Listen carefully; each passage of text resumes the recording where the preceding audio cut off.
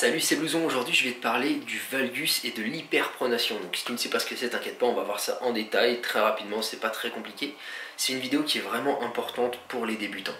Alors, certes, c'est aussi utile pour les intermédiaires, mais souvent les intermédiaires le connaissent déjà ce, principe-là, euh, alors que les débutants ignorent complètement ça et vont s'entraîner sans le savoir, alors que c'est vraiment quelque chose de capital qu'il faut absolument savoir, sinon euh, tu risques de te blesser, tu risques de pas t'entraîner comme il faut. Donc c'est vraiment important que tu regardes cette vidéo si tu débutes. C'est parti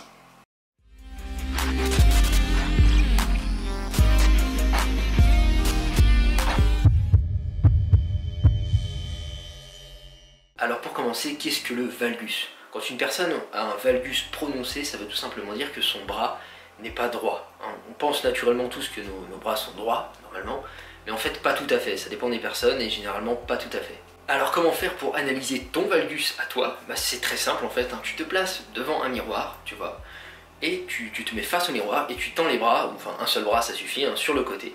Tu mets ton pouce tourné vers l'extérieur en essayant de le tourner le plus possible, donc de ramener le pouce un peu vraiment vers l'extérieur. Et tu vas imaginer tout simplement une droite qui passe par l'épaule et le milieu du coude. Si la droite passe vers le milieu de la main, donc environ vers ce doigt-là, ça veut tout simplement dire que ton valgus euh, n'est pas prononcé, enfin tu n'as pas de valgus en fait, que ton bras est plutôt droit tout simplement. Si au contraire la droite passe plus vers le petit doigt ou carrément à l'extérieur de la main, ça veut dire que tu as un valgus assez prononcé. Et plus la droite s'éloigne de la main, plus ton valgus est fort tout simplement. Alors tu vas me dire c'est bien, c'est bien, c'est bon à savoir, mais en même temps, qu'est-ce que ça fait de ne pas avoir le bras droit? C'est quoi la conséquence quand tu vas t'entraîner à la salle? Et eh bien tout simplement, il va être impossible pour toi, si tu as un valgus très prononcé, d'utiliser des barres droites.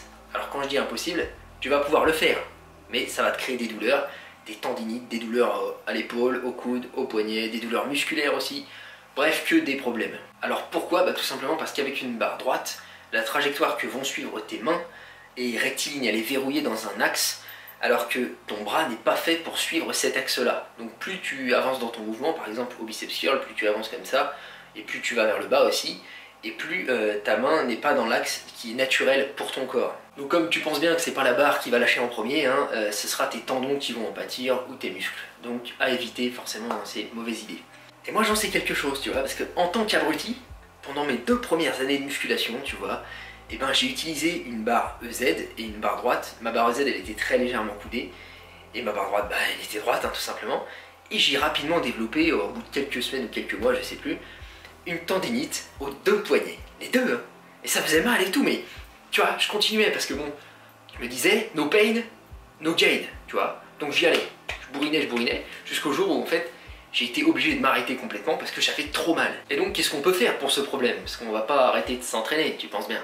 Non, en fait, tout simplement, il va juste falloir éviter les barres droites euh, aux exercices bah, de biceps, aux exercices de tirage pour le dos, tu sais, tu peux utiliser des barres aussi sur les machines et tout ça. Euh, au rowing bar, aux exercices pour les triceps aussi, avec les poulies quand tu pousses et tout, faut pas de barre droite. Donc plutôt des barres Z, des barres coudées, euh, ou des barres en V directement pour les triceps par exemple. Euh, voir si tu as un valgus tellement prononcé, alter. Uniquement les haltères. Moi c'est mon cas, hein. franchement les barres je les utilise quasiment plus, à part un poids très léger, parce qu'un poids vraiment très léger ça va, il n'y a pas trop de tension donc ça, passe. Mais sinon, alter uniquement, parce qu'avec une alter, un alter, un alter, avec un alter,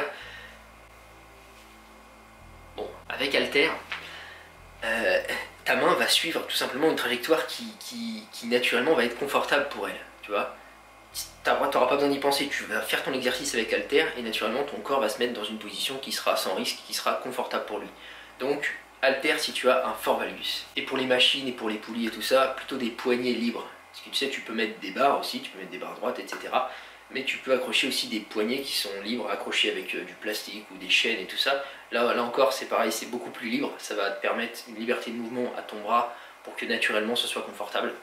Donc euh, soit alter, soit ça pour les machines. Voilà pour le valgus. Ensuite, hyperpronation et hypersupination. Alors qu'est-ce que c'est? En gros, si tu veux, euh, dans, l'avant-bras, tu vois, tu as deux os, tu as le radius et le l'ulna, que tu dois savoir normalement si tu as regardé ma vidéo de l'anatomie des biceps d'il y a quelques jours.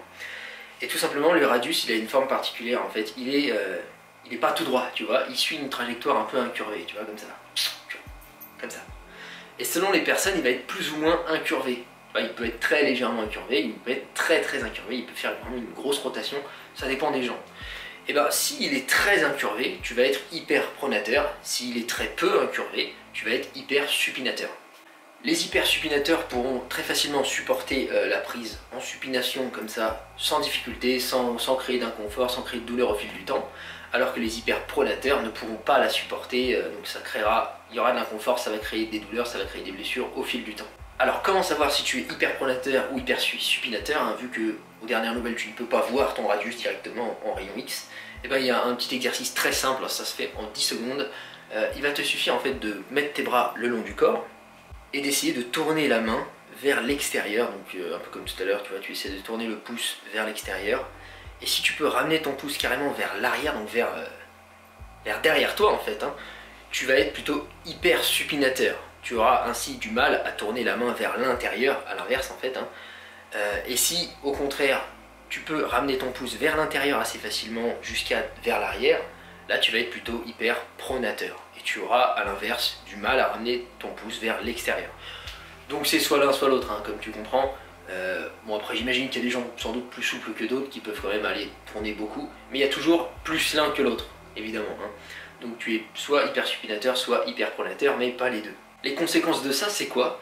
Bah, ça, va, ça va être un peu comme le valgus en fait. Euh, les hyper supinateurs vont pouvoir très facilement prendre une barre droite, euh, sans problème, la prendre aussi en prise serrée, ça va pas créer de douleur et tout ça tandis que les hyperpronateurs ne pourront pas prendre de barre droite. S'ils sont très hyperpronateurs, ils ne pourront pas non plus prendre de barre EZ. Par contre, ils auront des facilités à faire un reverse curl, tu sais le curl euh, en prise inversée comme ça qui permet de travailler bien les avant-bras. Et donc le valgus et l'hyperpronation, ça s'additionne, tu vois. Moi j'ai les deux, tu vois, donc euh, on est bien, tu vois, c'est pas mal, c'est bien, bien casse Donc si tu as les deux, hein, oublie les barres. Laisse tomber, c'est pas la peine. Même les barres EZ, à moins qu'elles soient très très coudé, parce que bon, ça existe des barres un peu comme ça là, mais à moins qu'elles soient comme ça, ça finira par te faire mal aussi, enfin en tout cas moi c'est mon cas. Hein. Donc alter, hein, alter uniquement, ou poignée euh, libre, poignée simple en, unilatéral, la plupart du temps c'est le plus simple, sur les machines, et euh, favoriser les machines qui sont euh, laisse une bonne liberté de mouvement parce que sur la plupart des machines c'est pas le cas. Mais après pas d'inquiétude pour autant, hein. moi je suis hyper pronateur et j'ai un valgus assez prononcé et ça m'empêche pas de continuer à développer mon physique. Donc euh, si c'est une de tes inquiétudes, hein, faut vraiment pas t'inquiéter franchement. Il suffit juste d'adapter ton entraînement. Voilà, tu prends des haltères plutôt que des barres, c'est pas grave. En fait il faut juste le savoir et adapter ton entraînement à ta morphologie. C'est vraiment important, hein. c'est comme euh, si tu des chaussures, prends pas du 45 si tu choses du 40, tu vois. Bah, l'entraînement, ça doit être pareil. Il faut que ce soit adapté à toi. C'est vraiment important. Et aujourd'hui, on a parlé du valgus et de l'hyperpronation, mais euh, faut bien te dire que ton corps, il est rempli de ce type de nuances, tu vois. T'es pas du tout pareil que ton voisin. Il y, a, des petites différences au niveau osseux, au niveau tendineux, au niveau des insertions musculaires. Il y a plein plein de nuances comme ça qui font qu'on n'est pas tous pareils sur une machine, une machine qui est quand même très restrictive en termes de liberté de mouvement, on va pas du tout réagir pareil. Donc à l'avenir, si tu sens que sur certains mouvements, avec certains matériels, sur certaines machines, tu sens qu'il y a un truc bizarre, tu vois, il y, a, un inconfort, il y a une douleur, tu sens juste que tu n'es pas à l'aise, bah, au lieu d'insister et de finir par te faire mal, euh, change d'exercice tout simplement. Il hein. ne faut pas avoir honte, tu es libre de changer d'exercice. Il y a une variété immense d'exercices en musculation, il y en a largement assez pour trouver ce qui, va convenir à ta morphologie. Et même si c'est vrai, ça peut être chiant quand on débute de voir son copain, euh, son, binôme là en train de, faire les exos super facilement et toi tu peux pas parce que tout simplement ton corps il est pas fait pour cet exercice là. C'est pas grave, tu vois, tu laisses ton ego au vestiaire, enfin pas les couilles, hein, et, euh, et tu trouves un exercice qui soit adapté à ta morphologie. Hein. On a tous nos forces et nos faiblesses. Tu vois, ton binôme il a peut-être ces forces-là, mais toi t'en as d'autres, peu importe. Voilà, c'est tout pour cette vidéo sur le valgus et l'hyperpronation. Euh, donc très important, hein, vraiment pour les débutants, faites le test. C'est pas compliqué, hein. chaque test prend 20 secondes, tu tends le bras, tu regardes dans le miroir, qu'est-ce que ça donne. Et hop, immédiatement tu sais si il te faut une barre droite, une barre plutôt EZ ou carrément uniquement des haltères et des, et des poignées libres. Donc c'est vraiment pas compliqué et ça va t'économiser énormément parce que je reviens à l'anecdote un peu sur moi, tu vois. Euh, moi, comme un con, euh, j'ai eu des tendinites euh, aux deux poignets, tu vois. Mais en plus, eh ben, j'ai eu la tendinite beaucoup plus fortement à droite. Donc qu'est-ce qui s'est passé, tu vois? J'avais tellement mal j'étais con, vraiment le, roi des abrutis. J'avais tellement mal que inconsciemment, et peut-être même assez consciemment en fait, quand je prenais ma barre et que je faisais mon biceps curl, et eh ben je devais compenser un peu, tu vois, un peu dans un côté pour, pour qu'il y ait moins cet inconfort au niveau du poignet, tu vois. Et donc, qu'est-ce qui s'est passé Hein? Tu vois Retard au biceps gauche. Voilà. Ah, c'est ma faute, je, ne peux que me blâmer. Euh, donc euh, voilà, ne, sois pas aussi stupide que moi, s'il te plaît. Hein. Fais attention à ton corps, prends soin de lui. Voilà, moi je vais te laisser. Euh, juste une chose, continue à m'ajouter sur Snapchat, hein. vous êtes de plus en plus nombreux, c'est vraiment sympa parce que je vous pose des questions, hop, vous me répondez, vous m'en posez aussi, c'est vraiment interactif, c'est vraiment cool franchement, ça me plaît beaucoup. Et puis euh, vous pouvez me soumettre des idées de sujets comme ça. Euh, là, genre, euh, ce que j'ai fait l'autre jour, là, les, faux sucres, c'était une idée qu'on m'a soumise. L'anatomie des biceps aussi, c'est quelque chose qu'on m'avait demandé, tu vois. Donc je suis réactif, je le fais. Si ça me parle, si je trouve ça intéressant, je le fais direct. donc faut pas hésiter. Et autre chose, je travaille sur un projet de vidéo qui va être bien. Je pense que ça va être vraiment sympa, franchement. Genre, j'ai eu une idée, tu vois. Ça va être une... Donc ça va être long, hein, ça va être très long parce qu'il y a beaucoup d'écriture et puis c'est un projet qui est un peu euh, de trop grosse envergure pour moi. Parce que moi je, suis quoi Je suis un connard avec sa caméra dans, sa cuisine. Tu vois, donc je manque un petit peu de... Voilà. Mais euh, disons que je travaille dessus et je vais voir où ça va me mener. Mais ça va être une vidéo assez comique euh, sur la musculation.